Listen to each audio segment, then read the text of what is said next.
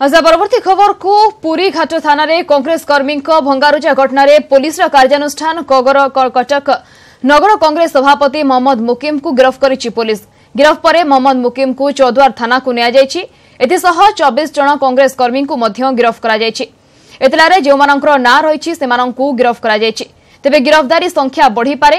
ଗତ ମଙ୍ଗଳବାର ପୁରୀ ଘାଟ ଥାନାରେ କଂଗ୍ରେସର ଜଣେ କର୍ମୀଙ୍କୁ ପୋଲିସ ଥାନାରେ ଅଟକ ରଖିଥିଲା। ଏନେଇ କଂଗ୍ରେସ କର୍ମୀ ପୁରୀ ଥାନାକୁ ଯାଇଥିଲେ। କିନ୍ତୁ ଥାନା ଅଧିକାରୀ ତାଙ୍କୁ ଦୁର୍ବ୍ୟବହାର କରିଥିବା ଅଭିଯୋଗରେ ବ୍ୟାପକ ଭଙ୍ଗାରୁଜା କରିଥିଲେ କଂଗ୍ରେସ କର୍ମୀ। ଏନେଇ ପୁରୀ ଘାଟ ଥାନାରେ ଦୁଇଟି ମାମଲା ରୁଜୁ ହୋଇଥିଲା। ଆଜି ଭୋରୁ କଟକର ବିଭିନ୍ନ ସ୍ଥାନରେ ଚଢ଼ାଉ କରି କଂଗ୍ରେସ କର୍ମୀଙ୍କୁ ଗିରଫ କରିଥିଲା ପୁଲିସ। ସେ ଆଇଆଇସି ଆକ୍ରୋଶମୂଳକ ଭାବରେ ବନ୍ଦର ପରଦିନ ପୁଣି କଂଗ୍ରେସ କର୍ମକର୍ତ୍ତାଙ୍କୁ ଉଠାଇବା ଗିରଫ କରିବା ଇଏ ଯେଉଁ କାର୍ଯ୍ୟକ୍ରମ ବିରୋଧୀ ଦଳ ସରକାରୀ ଦଳ ଚାପରେ ବିରୋଧୀ ଦଳକୁ ଚୁପ୍ କରିବା ପାଇଁ ଯେଉଁ ପ୍ରୟାସ କଂଗ୍ରେସ ଏହାକୁ ସହ୍ୟ କରିବ ନାହିଁ ଆମେ ଏହାକୁ ଦୃଢ଼ ଭାବରେ ବିରୋଧ କରୁଛୁ ଏ ସହର ପୁରା ଠପ୍ ହେଇଯିବ ତେଣୁ କଂଗ୍ରେସ ଦଳ ତରଫରୁ ବନ୍ଦ ଡାକରା ଦିଆହେବ ଏଠି କାହାକୁ ଚଳାଇ ଦିଆଯିବ ନାହିଁ ତେଣୁ ଯେ ପର୍ଯ୍ୟନ୍ତ ସରକାରଙ୍କର ମନମୁଖୀ କାର୍ଯ୍ୟ ଆଡ଼େ ଓକିଲ କାର୍ଯ୍ୟ ବନ୍ଦ ସେପଟେ ଅମଲା ଷ୍ଟ୍ରାଇକ୍ শিক্ষকঙ্ স্ট্রাইক তেমন এ সময় যে পলিটিকাল পার্টিকে দবাইয়া যে চেষ্টা করছেন তাঁকু কেবে করা তা বরদাস্ত করা না তাঁকু ঘোর বিরোধ করা পুলিশর ব্যবহার কাহিঁকি দিনকু দিন খারাপ হওয়া যাচ্ছে ব্যবহার খারাপ করিকি সে যেবে আম কর্মী মান সহিত ব্যবহার খারাপ করছেন আম নেতা সহিত ব্যবহার খারাপ করছেন যেবে কিছু কহিলে সে কথা শুনা না যাচ্ছি তো ইয়ে প্রতিক্রিয়া তো আহরি আগুকু যেবে সমাধান কিছু ন বাহারলে আমি তো অধিক অধিক তার প্রতিবাদ করবু আমি রাজরাস্তার ওহ্লাইকি করবু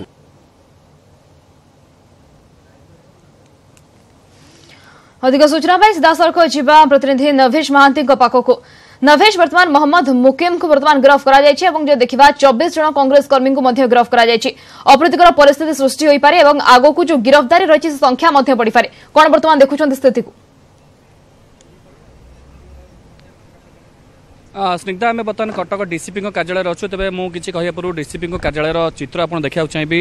ଆ, ସଶସ୍ତ୍ର ପୋଲିସ ମୁତୟନ ହୋଇଛନ୍ତି ଉଭୟ କାର୍ଯ୍ୟାଳୟ ଭିତରେ ଏବଂ ବାହାରେ। ଯଦି ଏ, କିଛି ବିକ୍ଷୋଭ ପ୍ରଦର୍ଶନ ହୁଏ ତାକୁ ପ୍ରତିହତ କରିବା ପାଇଁ ଆ, ପୋଲିସ ସମ୍ପୂର୍ଣ୍ଣ ଭାବେ ପ୍ରସ୍ତୁତ ଅଛି। ଆ, ଏପରିକି ଟିୟର ଗ୍ୟାସ୍ ଏବଂ ଅନ୍ୟାନ୍ୟ ବ- ସାମଗ୍ରୀ ମଧ୍ୟ ପୋଲିସ ପାଖରେ ଅ, ବର୍ତ୍ତମାନ ମହଜୁଦ ରଖିଛି। କିନ୍ତୁ ଯାହା ଜଣାପଡ଼ିଛି ସେଭଳି କୌଣସି ଆ, ସ୍ଥିତି ଉପୁଜିବ ନାହିଁ। ଆ, ତେବେ ଯଦି ଆମେ ଆଜିର କଥା କହିବା ତେବେ ଆ, ମହମ୍ମଦ ମୁକିମକୁ ବର୍ତ୍ତମାନ ଚୌଦ୍ୱାର ଥାନାକୁ ନିଆଯାଇଛି ଏବଂ ସେଟା ତାଙ୍କୁ ଗିରଫ କରି ରଖାଯାଇଛି ଯାହା ଆ, ପୋଲିସ ପକ୍ଷରୁ କୁହାଯାଉଛି ଆଉ କିଛି ସମୟ ପରେ ଆ, ତାଙ୍କୁ ଆ, କୋର୍ଟ ଚାଲାଣ କରାଯିବ। ଆଜି ଯେହେତୁ କୋର୍ଟ ଛୁଟି ଅଛି ତେଣୁ ସିଧାସଳଖ ବିଚାରପତିଙ୍କ ଘରେ ଆ, ମହମ୍ମଦ ମୁକିମଙ୍କ ସହ ଯେଉଁ ଚବିଶ ଜଣ ବର୍ତ୍ତମାନ ସୁଦ୍ଧା ଅର୍ଥାତ୍ ଆ, ନଅଟା ସୁଦ୍ଧା ଗିରଫ ହୋଇଥିଲେ ସେମାନଙ୍କୁ ଆଣିକି ହାଜର କରାଯିବ ଏବଂ ତାପରେ ଆ, ସିଧାସଳଖ ତାଙ୍କୁ ଜେଲ୍ ହାଜତକୁ ଅର୍ଥାତ୍ ଚୌଦ୍ୱାର ଜେଲ୍କୁ ନିଆଯିବ। ତେବେ ଡିସିପି ଗୋଟେ ସାମ୍ବାଦିକ ସମ୍ମିଳନୀ ସ୍ନିଗ୍ଧା ଡାକିଛନ୍ତି ଏବଂ ସାଢ଼େ ଦଶଟା ସମୟରେ ଏହି ସାମ୍ବାଦିକ ସମ୍ମିଳନୀ ଡିସିପିଙ୍କର ଯେଉଁ ଉପର ମହଲାରେ ଯେଉଁ ରହିଛି ସମ୍ମିଳନୀ କକ୍ଷ ସେଠାରେ ଅନୁଷ୍ଠିତ ହେବ ଏବଂ ଅନୁମାନ କରାଯାଉଛି ସେ ସାମ୍ବାଦିକ ସମ୍ମିଳନୀରେ ଡିସିପି ସ୍ପଷ୍ଟ କରିବେ ବାସ୍ତବିକ କେଉଁ କେଉଁ ସେକ୍ସନ ସିଆର୍ପିସି ଏବଂ ଆଇପିସିର ଧାରା ଲଗାଯାଇଛି ତାହା ସ୍ପଷ୍ଟ କରିବେ। ଅନୁମାନ କରାଯାଉଛି ବେଶ ସାଂଘାତିକ ଏବଂ ସଙ୍ଗୀନ ଦଫା ମଧ୍ୟ ଲଗାଯାଇଥିବ ୱାନ୍ ଟ୍ୱେଣ୍ଟି ବି କଥା ମଧ୍ୟ କୁହାଯାଉଛି। ତେବେ ଡିସିପିଙ୍କର ସମ୍ମିଳନୀ ପରେ ହିଁ ସବୁକିଛି ସ୍ପଷ୍ଟ ହେବ। ବାସ୍ତବିକ କେଉଁ କେଉଁ ଧାରାରେ ଆ, ମହମ୍ମଦ ମୁଖି ଏବଂ ତାଙ୍କର ଆ, ଯେଉଁ ସମର୍ଥକଙ୍କୁ ଗିରଫ କରାଯାଇଛି। ଆ, ଗିରଫଦାରୀ ସଂଖ୍ୟା ବ- ନଅଟା ସୁଦ୍ଧା ଚବିଶ ଥିଲା ଏବଂ ବର୍ତ୍ତମାନ ବି ଆ, ପୋଲିସର ସ୍ପେଶାଲ ଡ୍ରାଇଭ୍ ଚାଲିଛି। ସହରରେ ଯେଉଁ ଯେଉଁ ସ୍ଥାନରେ ବି ମହମ୍ମଦ ମୁକିମଙ୍କର ସମର୍ଥକ ଅଛନ୍ତି ଏବଂ ଯେଉଁମାନେ କି ଆ, ସେଦିନ ମଙ୍ଗଳବାର ଦିନ ଥାନା ଭଙ୍ଗାରୁଜାରେ ସମ- ସମ୍ପୃକ୍ତ ଥିଲେ। ସେମାନଙ୍କୁ ଖୋଜୁଛି ପୋଲିସ ଏବଂ ସେମାନଙ୍କୁ ଖୋଜି ଗୋଟିଏ ଗୋଟିଏ କରି ବିଭିନ୍ନ ଥାନାରେ ଅଟକ ରଖୁଛି ଏବଂ ତାପରେ ଗିରଫ ଦର୍ଶାଯାଉଛି। ଆ, ଗୋଟେ ବଡ଼ କଥା ରହିଲା ଯେ ସେଦିନ ଯେଉଁ ଗଣ୍ଡଗୋଳ ହୋଇଥିଲା ତାପରେ ପୋଲିସ ଦୁଇଟି ମାମଲା ରୁଜୁ କରିଥିଲା। ଗୋଟେ ବ- ମାମଲାରେ ଉଲ୍ଲେଖ ଥିଲା ଯେ ଥାନା ଭିତରକୁ ଅବୈଧ ପ୍ରବେଶ କରିବା ଥାନା ଅଧିକାରୀ ଏବଂ ଅନ୍ୟାନ୍ୟ କର୍ମଚାରୀଙ୍କୁ ମାଡ଼ ମାରିବା ଥାନାରେ ଭଙ୍ଗାରୁଜା କରିବା ଏହା ସହିତ ଅଭିଯୁକ୍ତ ବା ଯେଉଁ ଜଣ ଜଣକ ଥିଲେ ତାଙ୍କ ସମର୍ଥକ ବିଜୟ ବାରିକ ତାଙ୍କୁ ଥାନାରୁ ବଳପୂର୍ବକ ଟେକି ନେଇଯିବା।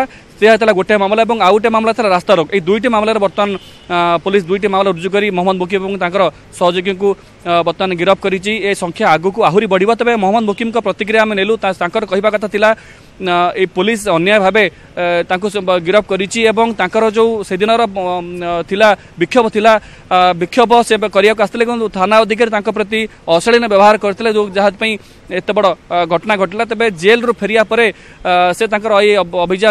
ତେବେ ମୋଟାମୋଟି କହିବାକୁ ଗଲେ ମହମ୍ମଦ ମୁକିମ କଟକ ସହରରେ କଂଗ୍ରେସର ଗୋଟେ ବଡ଼ ନେତା ଥିଲେ ଆମେ କହିପାରିବା ଗୋଟେ ଜଣେ ଚିହ୍ନା ମୁହଁ ଥିଲେ କହିପାରିବା।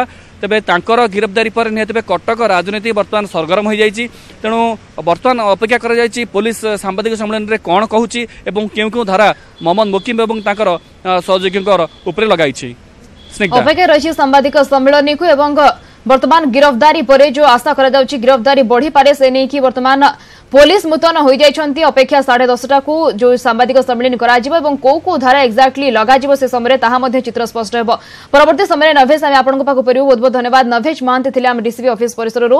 ସିଧାସଳଖ ଆମକୁ ଏ ନେଇ ଅଧିକ ସୂଚନା ଏବଂ ଅପଡେଟ୍ ଦେଉଥିଲେ।